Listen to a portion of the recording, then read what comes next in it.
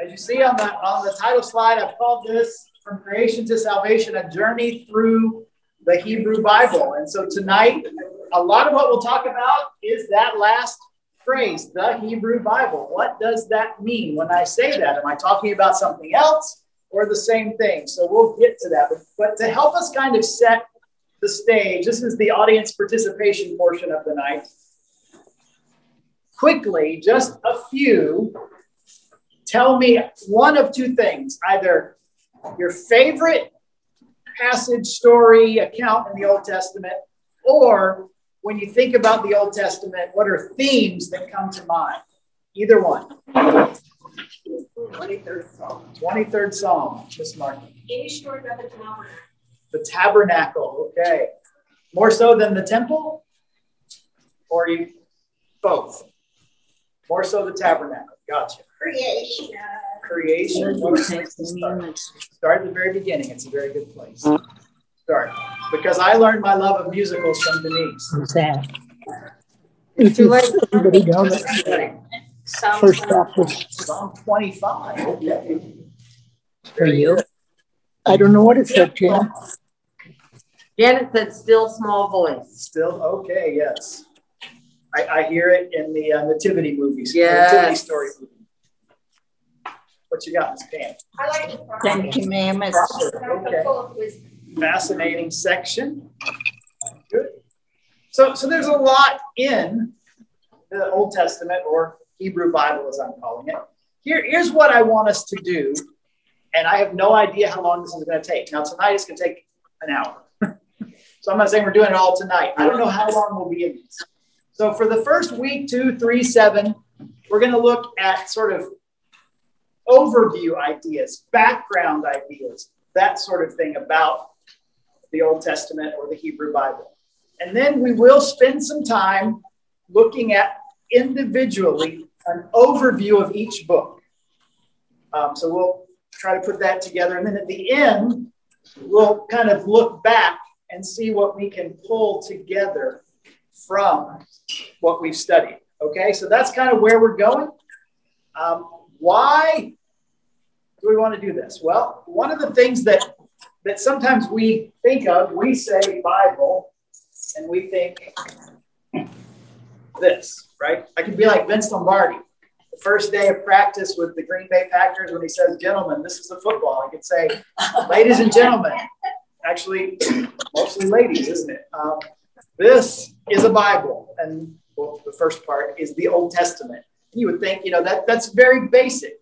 Um, but but that's in some ways what we're going to try to do over the course is to look uh, on a different way at looking at this. What we take for granted when we say Bible in the modern times is a book. We're a we're a culture that these well not as important today as they were maybe 15 20 years ago but you know this this kind of document is normal for us this so when we say bible we think of a bound volume that contains the 66 books that we have Old Testament, New Testament. This is a very modern Bible. When Jesus walked the earth, they didn't have these. In fact, nobody had a Bible. Think about it. The, the, the temple, the tabernacles, the synagogues, those sorts of places that people gathered would have copies not of this, but of scrolls that were stored in very ornate cabinets. We saw some, saw one very nice one under the western wall of the temple when we were uh, in Israel there.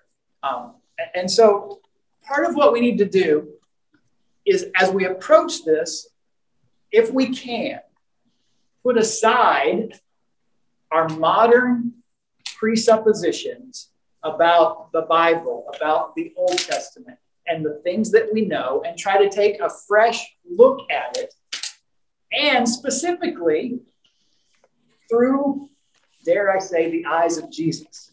Because what we call the Old Testament was the Bible, the scriptures of Jesus when he walked this earth. Um, you know, it, it's tempting as Christians to, to spend a lot of time. You know, we go through the in the Old Testament. There's some weird stuff in that. Is that fair? Yes. I mean, just odd stuff. And it's you know, we get to the New Testament, and, and, oh Jesus and his life and death and resurrection and church and and, and sometimes when we get to the New Testament, Paul, you know, Paul is didactic. It's it's a letter. It's instruction. You can open it up and say, "Oh, this is what it's saying. This is what I'm supposed to do." But you can't do that when you open an Old Testament history volume or an Old Testament poetic work. You're like, "Well, what am I supposed to do with this? how, how do how do I under what does this mean?" And so, what we want to do over the course of our time together is try to give some tools to help us be able to do that when we open up literature that, first of all, comes from a different culture. Hebrew Bible, as I called it here, um, one of the reasons it's called the Hebrew Bible is because it was written in Hebrew, Hebrew right? and while we are grateful that we have an English copy of Scripture, we also have to understand that the process of translating from one language to another involves interpretation. Translation is interpretation. And we'll look at a few of those things even tonight where we see how the modern translations have maybe roughed or actually smoothed over some roughness in the text that we miss because we're reading a translation, not seeing the original. Uh, and so we, are coming from a different language, a different culture, uh, and, and a different geography, a different historical era. And so what we want to do is, is again, put aside our modern presuppositions our because the temptation whenever we open the text and read it is we read it from the perspective of a 21st century person. And we say what does this have to say about whatever the modern thing is? Well i think before we can say what does this have to say about this we have to say what was it saying then? When we find out what it's saying then then we're better able to understand what it might say in a different cultural and linguistic and historical context. And so we're going to try to go back and get some of that. Now, let me start with a couple scriptures. Um, I, I, should have put them. Uh, this one's not in red letters, but but this is one of my favorite scriptures. Uh, this section, Luke 24, is the post-resurrection appearances of Jesus. And this particular scripture in verse 27 comes from the, the account where he's on the road to Emmaus. A little background Jesus has resurrected, and he comes upon these people and asks them, What's, what's going on? Why is everybody so stirred up? And they're like, Haven't you heard? Newsflash, he knew. it's about him. Haven't you heard what happened? And they kind of tell him, and, and, and, and then he takes a, a walk with them for a while. They don't recognize it's Jesus. And, and it says in that passage, in beginning with Moses and all the prophets, he explained to them what was said in all the scriptures concerning himself. So Jesus spends time with these individuals on the road to Emmaus, showing them what the Bible says about him. But the Bible that he was using didn't have Matthew, didn't have Mark, didn't have Luke, didn't have John, didn't have Acts or Romans or any of the Pauline epistles or the general epistles or Revel. It had none of that stuff. It was Moses and the prophets. A little bit later in that same chapter, he's talking to his disciples, and he,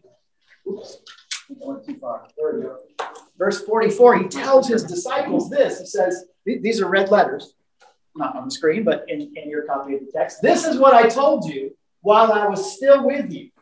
Everything must be fulfilled that is written about me in the law of Moses, the prophets, and the Psalms. Now, this is a this is pretty important for what we're going to do tonight, because this ties into the idea of why are we taking a journey through the Hebrew Bible? What does that mean? Hebrew Bible. Is it the same as the Old Testament? Yes and no. It's the same text. It's the same what we call 39 books of the Old Testament.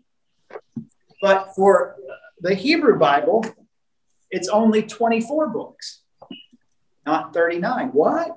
Did they get rid of 15 books of the Bible? No, they're in there.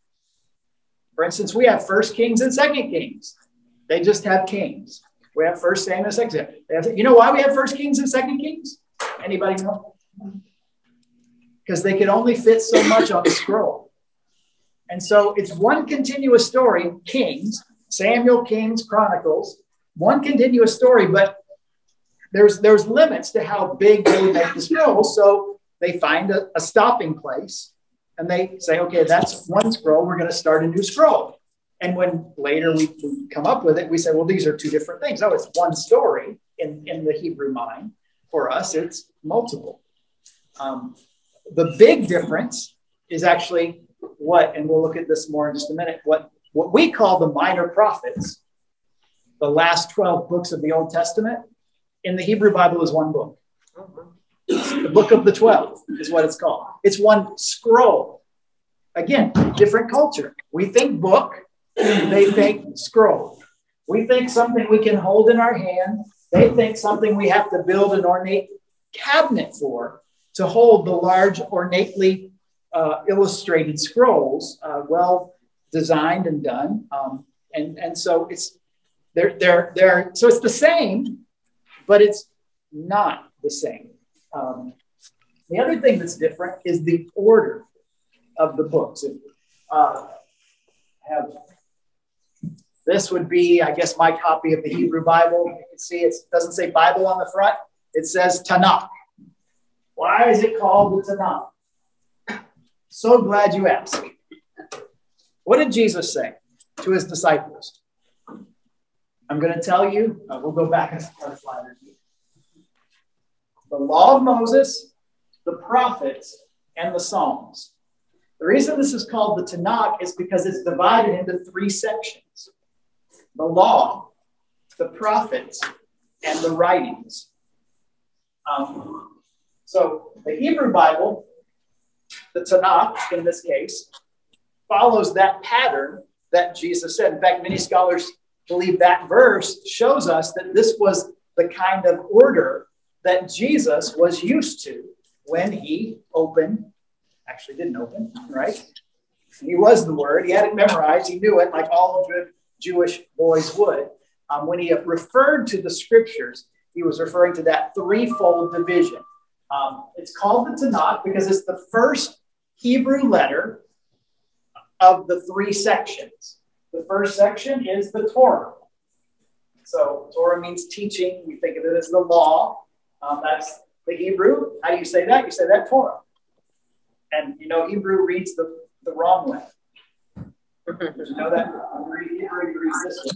You pick up a, I didn't bring my Hebrew Old Testament, but when you start a book in Hebrew, you start at the back. So all of you novel people that like to read the end first, in Hebrew, you're, you're set, right? So you start at the back. It, it reads right to left, not left to right.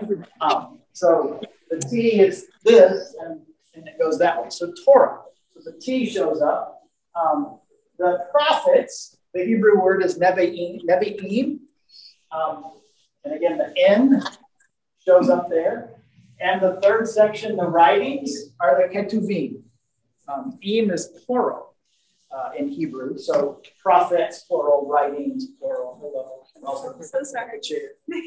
Uh, so the reason it's called the Tanakh, traditional Hebrew order, is because it's using those first letters T and K to make a word. It's not really a word, just Tanakh. Um, the Torah, the teaching, the law, the prophets, and the writings. Jesus said, the law of Moses, the prophets, and the Psalms. Um, so, can anybody say the books of the Old Testament in order? Oh, just kidding. I can get halfway through. I can't choose halfway, maybe. Here they are. This is when we talk about our English Old Testament. This is the order that they're in uh, traditionally. Actually, the only order as far as the Bible. Um, and they're divided like that uh, the law, the law is the law, the Torah, the Pentateuch, um, Genesis, Exodus, Leviticus, Numbers, Deuteronomy. Uh, and then the next section are, are largely historical books. Joshua, Judges, Ruth, 1st, 2nd Samuel, 1st, 2nd Kings, 22nd Chronicles, Ezra, Nehemiah, Esther. These are kind of historical, either telling of the history of the kings and the rulers or individuals that were significant in the history. Um, then we have, call it wisdom or poetic literature, Job, Psalm, Proverbs, Ecclesiastes, Song of Solomon. And then the final section are the prophets. We divide them into major prophets and minor prophets. Does I know why these are the major prophets? They're, that's it. They're, they're longer. And the, what we call the minor prophets, these 12 books, are one scroll or one book, the book of the 12 in the Hebrew Bible. So that's how we do it. Now, how did we get this? Why is this order not the same as the Tanakh? You're probably wondering what's the order of the Tanakh. Let's go there. How's that? So here is the order of the books of the Hebrew Bible. Starts with the law. the first five are the same. Then it goes to the prophets. And it's generally considered two groups of prophets the former prophets and the latter prophets. The former, you would say Joshua, well, that's history more. Judges, Samuel, Kings. Kings is definitely good king, bad king history.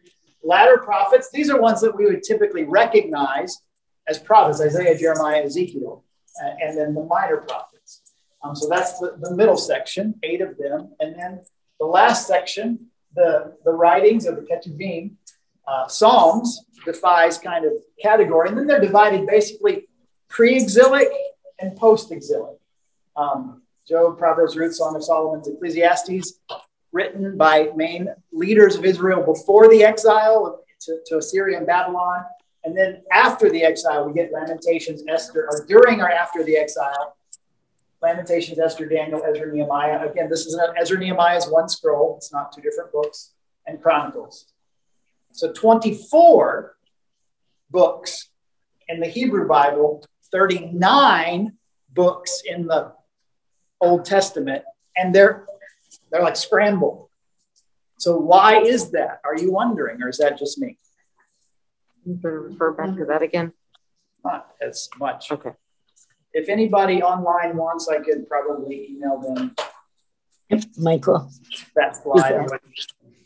Maybe they discover later on here and there, different time period. Maybe that's why they different order. No, actually, no. Um, the the Hebrew order is goes way back, several centuries before Christ. Before before yeah. Christ, yeah. Um, organized this. There's minor deviations sometimes in the writing, um, depending on which version you get. Maybe they'll be moved around. But this order of the Hebrew Bible was well established before Jesus came. This is kind of how it went. What happened was about the third century BC. Here's how history plays into things. Um, you've got the Greek culture, Alexander the, the Great, right? and, and his conquest of the known world that makes Greek the primary language of most of the world, including the Holy Land. That's why the New Testament is written in Greek, not Hebrew. They were all Jewish people, but it was written in Greek because that was the common language. So, because Greek is the common language, they said, we need the Old Testament in Greek. And so they, they made a, a Greek translation of the Hebrew Old Testament. It's called the Septuagint. Uh, it's if you ever see, if you're reading about biblical things and you see the Roman numeral 70, LXX, that's the Septuagint. It's called the Septuagint because there were 70 translators that worked on it. Um, there's actually another tradition that says um, there were seven members of six of the tribes of Israel. So that made 42 translators that worked on it independently. And when they brought their translations together, it was all perfectly matched, which, you know, sounds more like legend than, than maybe truth, but that's where it gets its name. The Septuagint is the Greek translation of the Hebrew Bible that was, that was there.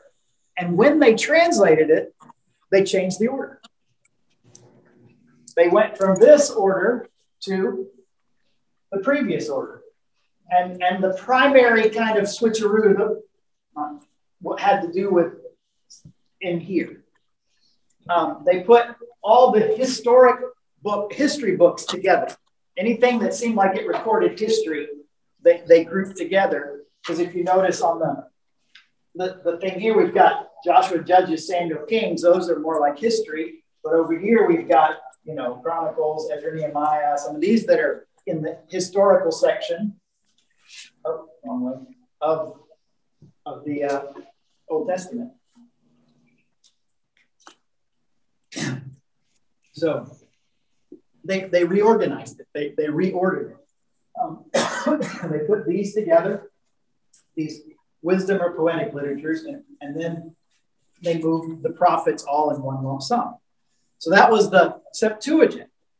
Well, a little bit later, after Jesus came, um, the predominant language went from Greek to Latin. And along the way, it was thought we need a, a translation of the Bible in Latin. So Jerome comes along and he translates the Latin Vulgate. Not Labello, for the record. It was not Jerome Labello. Although that no, two of us that call him Jerome. I want to read that tonight. Yeah. Read that translation. Uh, that would be something. Yes. Um, it was entertaining. So Jerome comes along. He translates the Bible, the entire Bible, into Latin, and he used the the um, Septuagint. excuse me, to create his Latin translation. And then when we come fast forward several hundred centuries to the advent of the English translations, because the Latin kind of became the normative use translation because that was the prevalent language, it, that order was preserved when in the 14, 1500s they began to try to translate the, the Bible into English. And some of them actually used the Hebrew text, but they followed the Septuagint and the Vulgate order. Aren't you glad to know that? Oh, yeah. Good. There you go.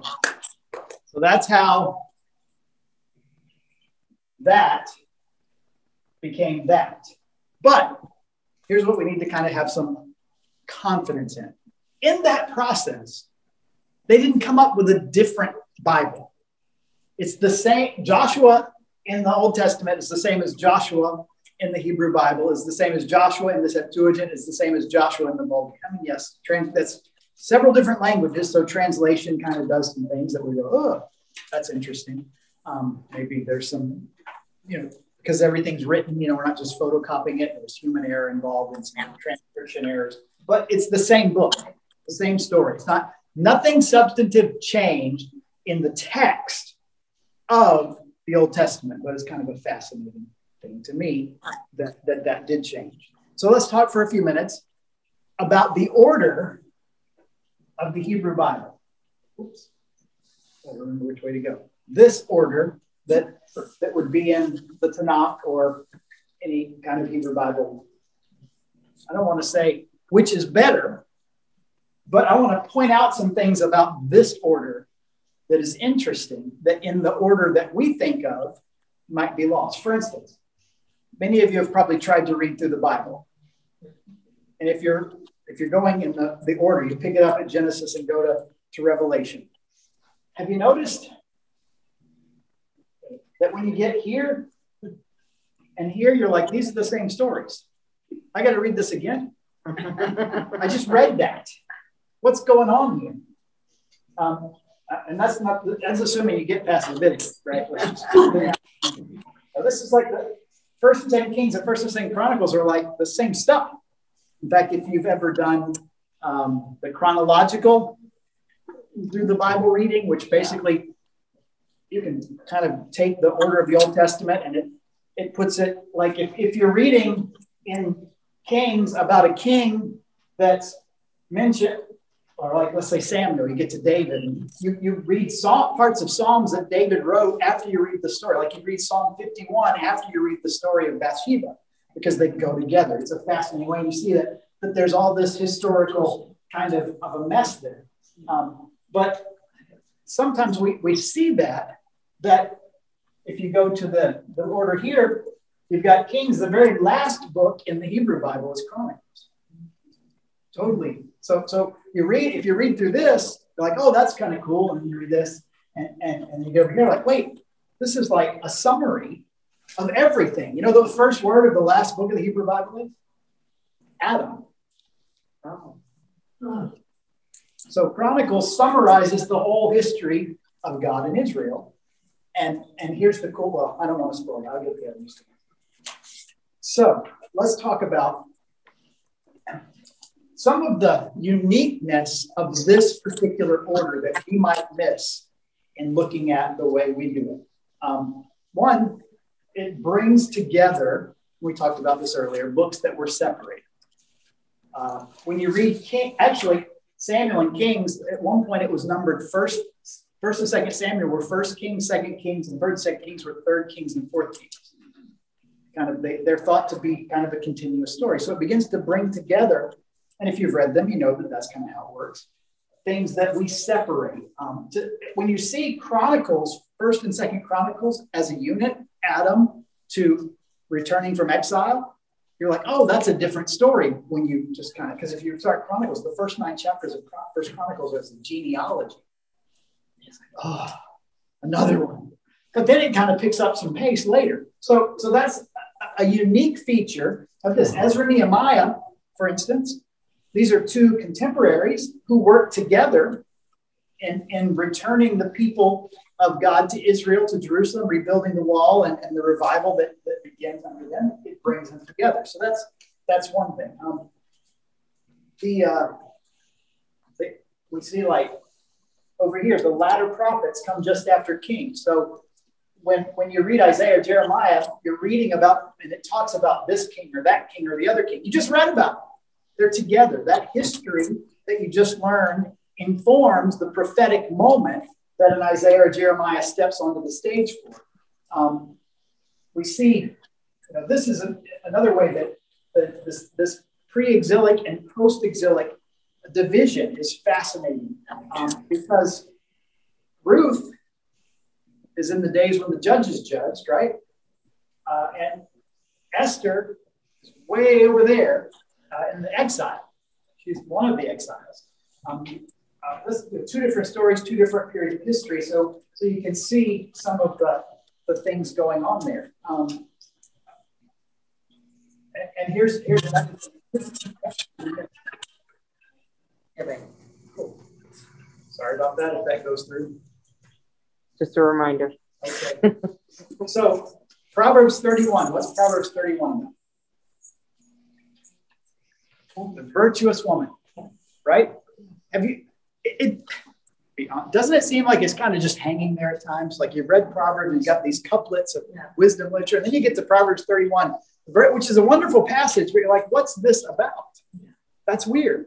In the Hebrew Bible, it says a virtuous woman, a godly woman. What's the next verse? Or what's the next book? Ruth. Ruth. And what's going after that? Ruth 3.11. You know what calls Ruth?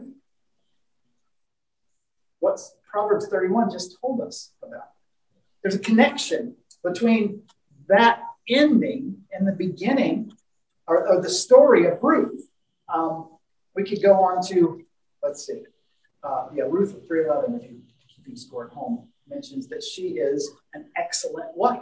Having just learned what an excellent wife is, here's a story about an excellent wife and a story about love and marriage. They go together. I'm sorry, um, so so it, it brings things together to show us that there are connections. Um, you've got the same thing here, like Lamentations is usually connected with right after Jeremiah in our kind of ordering because Jeremiah wrote it. But it's it's the story of, of how horrible it is that they're in exile. And what comes after Lamentations? Two individuals who are living in that horrible exilic period who show that you can be faithful even when it costs you. No matter how bad Lamentations makes things sound, Esther and Daniel show, you know, Esther takes her life in her hands when she steps before the king. Daniel thrown into the lion's den for being faithful to God, both of them these examples of faithfulness that's supposed to, I don't want to say dampen the kind of whatever tone. Just to put you a step on. Okay. That kind of the downer tone that is there. So, so it, it kind of connects those things together, and then we come back and go from there. Um, let's see, what's next? Oh, the interesting order here also gives us a look at the priorities that that the people of God had. How does how does Genesis 1 start? In the beginning. Yeah. Creation, right? And what's the agent of creation? God's word. God's word speaks. Just let there be light. Um, how does Joshua start? Joshua 1 8. What does it tell us to do? Anybody know? No. Joshua 1 9 to be strong and courageous. Joshua 1 8. Keep this book of the law always on your lips. Meditate on it day and night so that you may be careful to do everything written in it. Then you will be prosperous and successful. So the, the whole story, the Torah, begins with this, this word that God speaks that, that enacts creation, that everything that is comes from his word. Joshua, the next section, the prophetic section, begins with a reminder that if you want to be successful, if you want to be prosperous and blessed in what you're doing, what do you do? You meditate, keep the book of the law on your lips, meditate on it day and night. Be careful to do everything written in it. And then the last psalm, Psalm 1. Guess what it's about? His delight is in the law of the Lord, and on it he does meditate day and night, like a tree planted by rivers of water whose leaf never wither, who brings forth fruit in season. It's, it's another, and, and chapter two could go with that, another callback. So, so you see this thematic moment that unites all of these, that, that God creates by his word and institutes the law, and then his people come out of their obedience to the law, and their, their ultimate prosperity is determined by their continued obedience to the law. It's a thread that each of the first books connects to draw them all together. I mean, that's that's a um, thing. Not only that, the ending of each section. Um, when we get to, to Deuteronomy, um, Deuteronomy is the second law. We'll talk more about that sometime in the future. Deuteronomy is the retelling of the law. It's kind of Moses' farewell address to his people. And, and in it, in chapter uh, 18, he talks about there will be another prophet that will come and you will listen to him. And, and then at the very end of Deuteronomy, the last verse, it says, Since then, that's three verses, no prophet has risen in Israel like chapter 18, there'll be a prophet coming. The end. Since then, chapter 34, verse 10, no prophet like Moses has arisen, whom the Lord knew face to face, who did all the signs and wonders.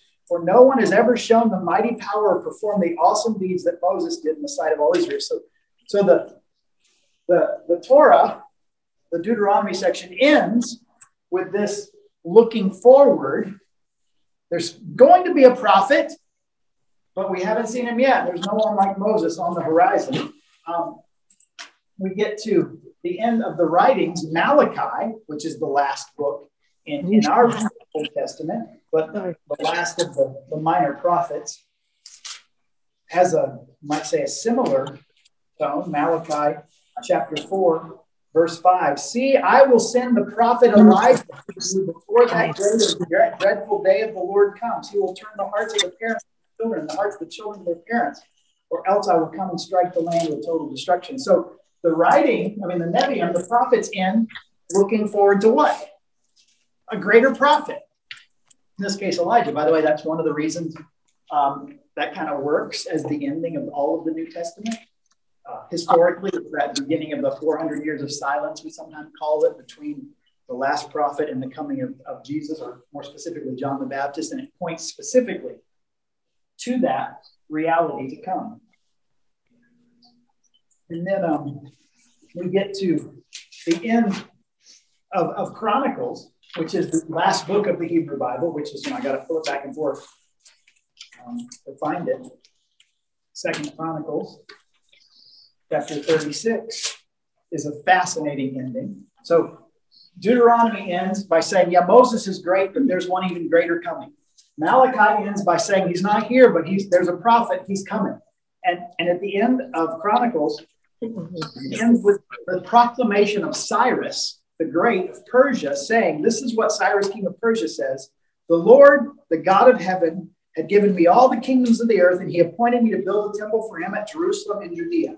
Now, I'm not going to read the NIV because this is where one of those things that modern translations smooth what should be rough. Um, more, a more literal modern translation might be the New American Standard. And it says for the last sentence, Whoever there is among you of all his people, may the Lord his God be with him and let him go up.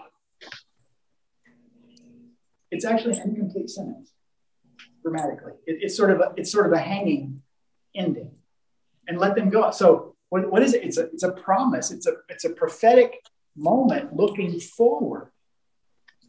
So each section starts by saying, "Follow the word of God, meditate on it, keep it on your lips."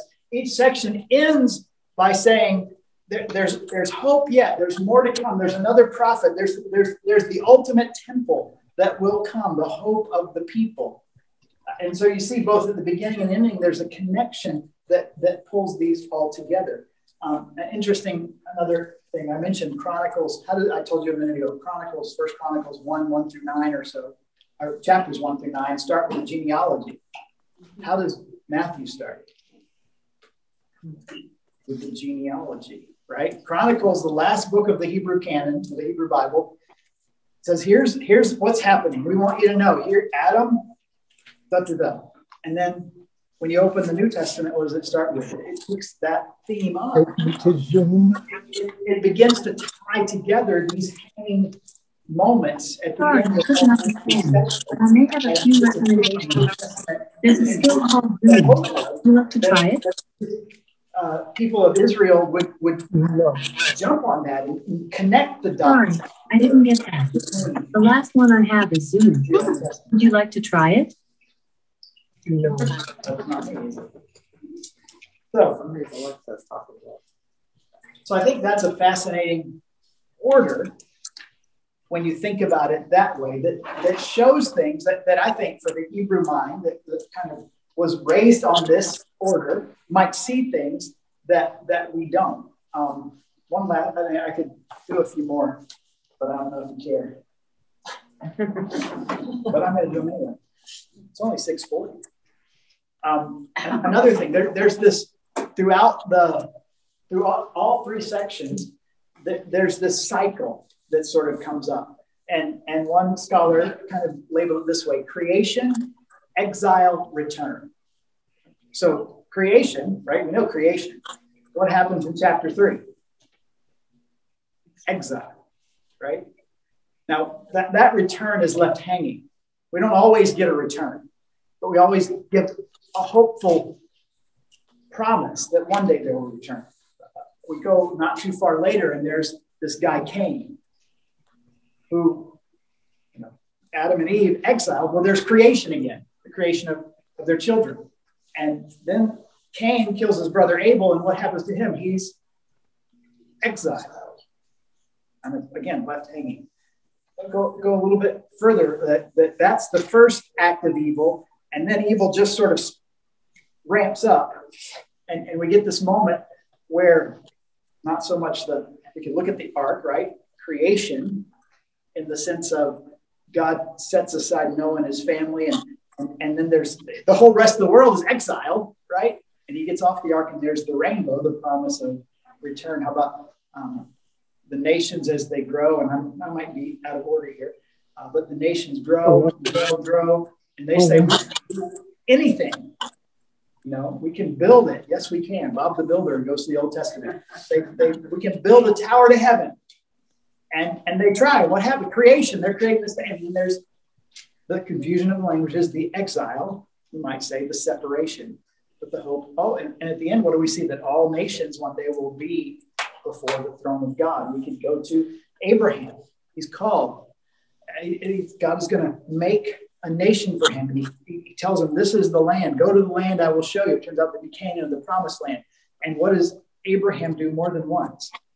He leaves the land because he, he's like, Things are tough here. So he kind of exiles himself right? But the promise is always to return. And then he has uh, uh, children, and then they have, he has a son, primarily Abraham, Isaac, and then Isaac has a couple sons. Something about the, the sons of these guys kind of have at each other. And Isaac has um, 12 kids, and, and because of this, this and his name is changed to Israel. But what happens? He, his whole family is, did I say the wrong one? Yeah. Jacob was changed to Israel. I said Isaac.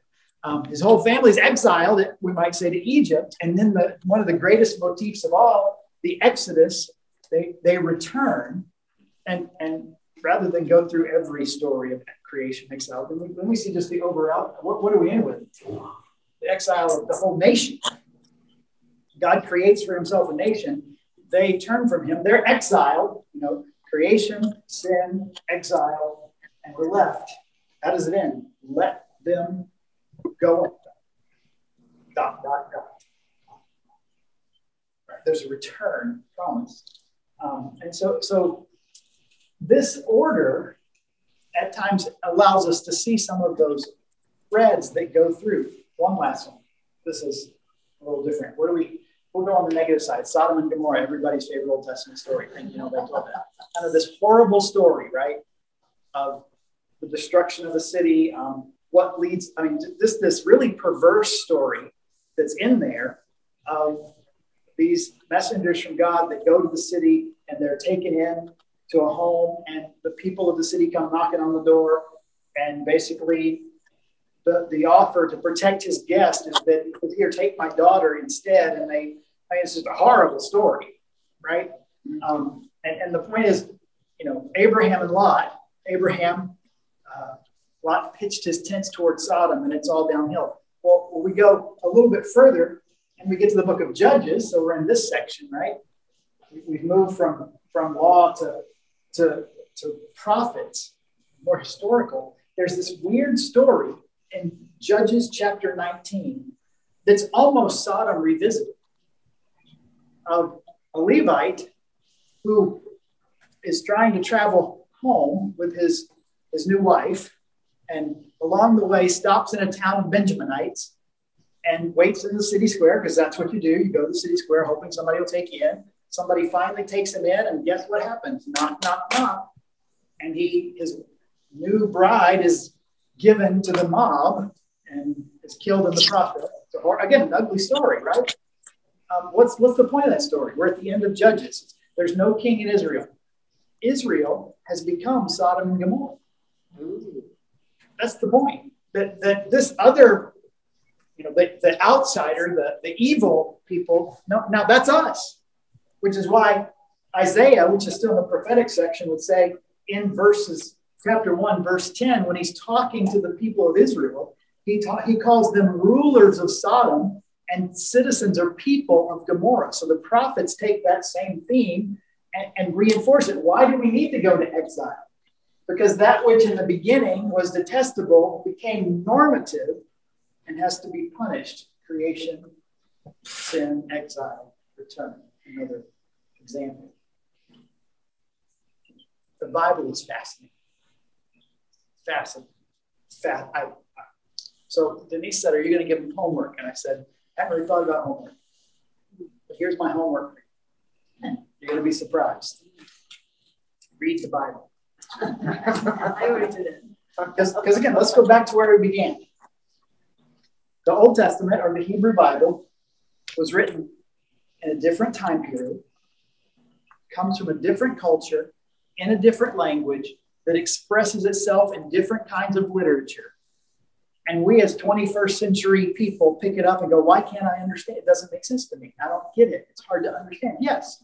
But I would suggest that the more and more we immerse ourselves in that literature, the more it begin, you begin to see these things that are in there, these threads that are woven through.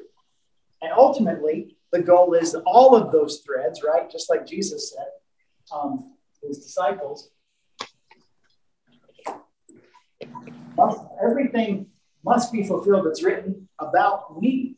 So that's the, that's the ultimate thread we're trying to tie. That's the knot we want to tie. We want to go through all of this and pick up all of these threads to tie it to the person of Jesus, who is the Word of God, we know, who came and said all of that Old Testament scripture pointed to him. And the better we know it, this is kind of my thesis. I've said it a couple times recently. The, the, one of the best tools we have, if not the best tool outside of the gift of the Holy Spirit in all of our lives as Christians, to understand the life and ministry of Jesus is the Old Testament. When, when we begin to understand and allow that world to get into us, things that Jesus says and does just kind of, whoa, are, become much more meaningful um, to us. How much more do I have that I want to do? Can I stop there? Can I ask a question? Sure. Is there an English Bible that's in the order of the Hebrew Bible? This one. Not. This is English. Oh, that one there? So it's in that order that you told us. It's there's Is it end in Chronicles? Like you said? Yeah. Oh. The, the order. This is um. There's a couple of orders. This one's a little different. There's a like, you can look at the table of contents and see. But yeah, that's you can buy a Tanakh that's ordered. Spell that word. T A N A K A. Oh, I thought you were putting S at the beginning. Okay, that one. So Torah, Nevi'im, and Ketuvim. Okay. Did you say Tatooine? Ketuvim. Okay, sorry. I thought, you went Star- I thought you went Star Wars there with this other man. I was like, Possible. you're mixing your two loves. Yes, Hebrew and Star ma'am. Wars. I wasn't. This one Chronologically, what's the earliest book? chronologically. What's It's a good question. Um, some spec. I don't know off the top of my head. I'll have to look that up. My first guess might be like Job. Job. Job dates from the days of the patriarchs, as far as the history, but I don't know if that's necessarily the case. Obviously, the, the books of Moses, the law would be there, but I'll, I'll get back to you on that one. She's talking about, you mean the recording of it, not necessarily where it starts in history, but you mean, because obviously Genesis is the first historical because it starts with creation. But I, I was hearing you ask, what was the first one like written down? And that's what I think is Job. Is that what you, you don't know? Okay. You agree? Mm-hmm. Okay, then it's settled.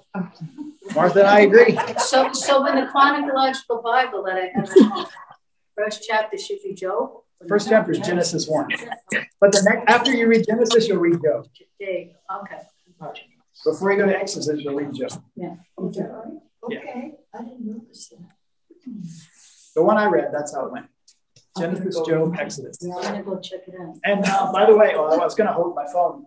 The uh, what's it called? YouVersion Bible app on there has a one-year chronological Bible. That's what I did. Every morning, you just open the app and it tells you what to read that day. And in a year, you go through the Bible chronologically. Um, some days you'll look and the list is this long because you're reading a little bit of Kings, a little bit of Chronicles, a few lines of a Psalm, and some other things. Um, but it, it's actually a fascinating way to read it.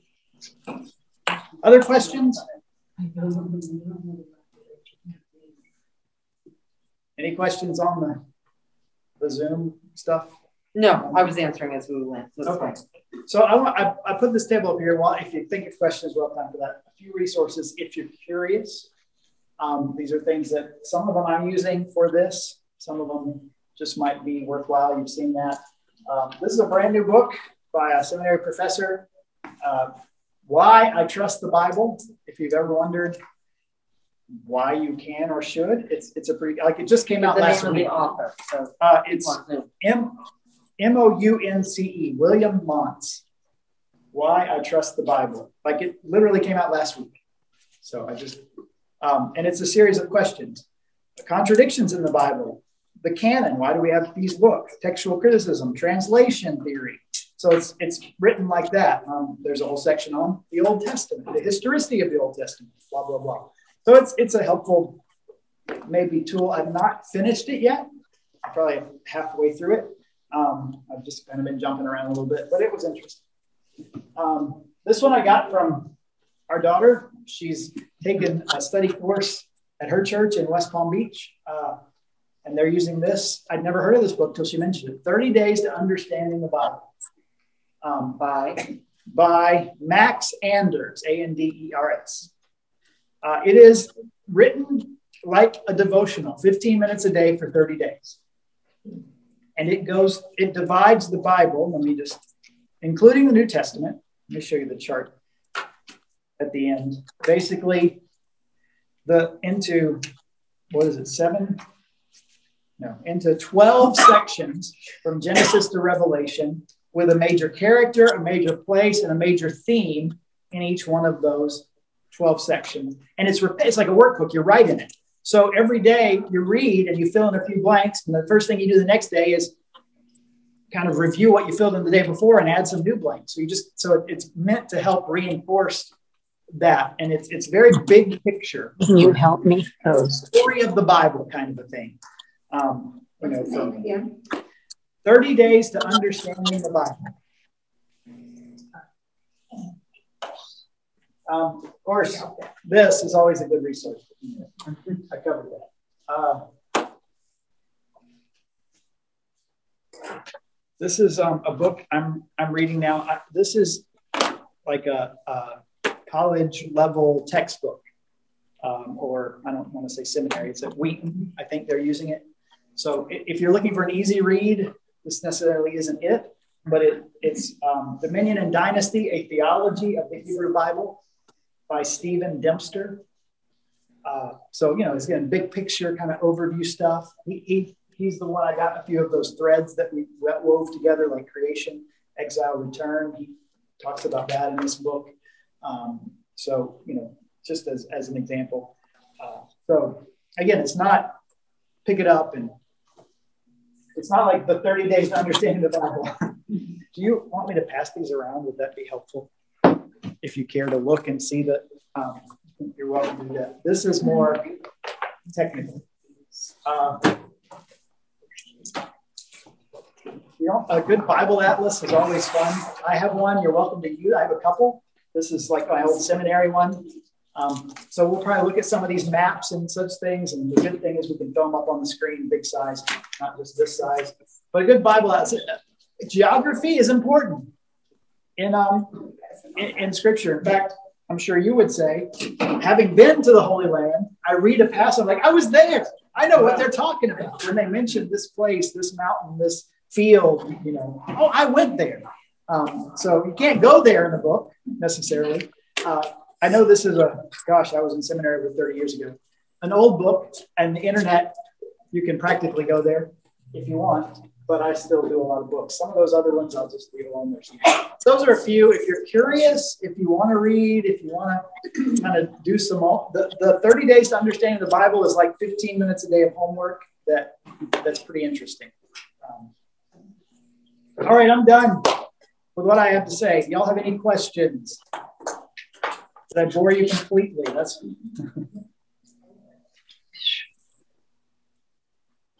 Thank you. As Denise said on one of the posts she made, it is we're going to take a little more academic approach to this at times. Um, so if that gets tedious, I'm sorry because I can get lost in that sometimes. So that's her job afterwards to say, um, so you get well, full disclosure, I took Old Testament in college. Oh, don't get excited. no, no. I made a D. A D because it's hard. So don't be discouraged. This girl was in church since she was six days old, and I sat in that class and cried my eyes out. Like, no, no, no, So just, you know, I'll, I'll keep him roped in if he gets too heavy. But I made a D. Yeah, that's it. Sure. Uh-huh. And the guy had no pity on my tears. He just looked at me like sad little girl. No, no pity. Anything else from anybody? We'll do something like this again next week. We'll probably talk a little history, archaeology, uh, geography. I think is where we're going. Um, Are you going to pray? Because several, I'm going to show books to the Zoom people when you're done. So okay. don't hang up on it. Okay, I'm going to pray then. No, I'm just, I'm just telling you, don't touch the Zoom because they asked for me to do books. Okay, So, I'm going to pray. And be dismissed. Father in heaven, we are grateful that you have revealed yourself to us. Lord, I'm grateful for your word, the Bible, that we we have such access to, to open, to read, to learn from. And Lord, I, I pray that as we look at it through this process, this class together, we'll look at it maybe with a little different uh, point of view, in a little different light, and it'll help us understand a little better who you are and the revelation of yourself that you've given us in Scripture. Thank you for especially the gift of Jesus that fulfills all of the the loose ends of the Old Testament, all of the promises, yes and amen, in your Son who is our Savior. Rest in Him. And we pray in His name. Amen.